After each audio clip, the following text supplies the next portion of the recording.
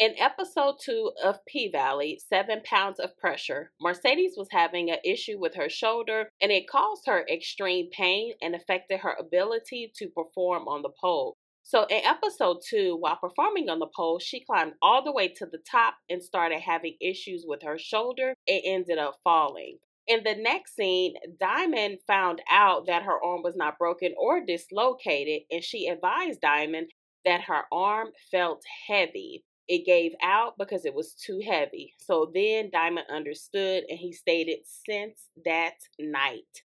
So basically, since the night that she shot Montavious, she has had seven pounds of pressure on her shoulder. So Diamond instructed her to lie on her stomach and he performed root work on her. He stated it himself. Root work, also known as hoodoo, is an African American folk magic influenced by a blend of beliefs, traditions, and cultures. Its origins are in the South, but it is practiced throughout the United States. It should not be confused with voodoo. Voodoo is a West African religion that came from Benin. Hoodoo or root work is an ancestral based practice. So, what they do, they use a variety of herbs, roots, potions, spells, and more.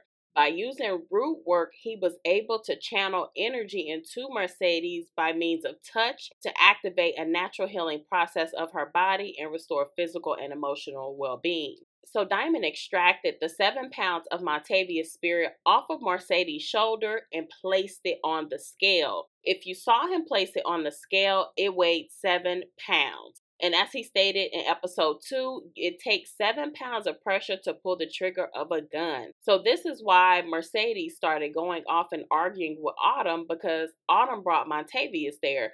But honestly, Mercedes should have stayed out of that mess. Nobody forced her to get involved and act to sum it all up, when Hailey asked Diamond why he had Montavious' ring, he stated that he had to fix him. And the root work, removing Montavious' spirit from Mercedes, will make sure that Montavious stays where he was laid. Then, if you notice, when they open up the window, the number on the scale decreased and Montavious' spirit went out the window. So this video is just a quick explanation of the healing process that Diamond performed on Mercedes. If you have anything to add or any more information, please leave it in the comments. All comments are welcome and I will begin working on another video and I will see you all tomorrow with another video about P-Valley. Have a wonderful day. See you later. Woo!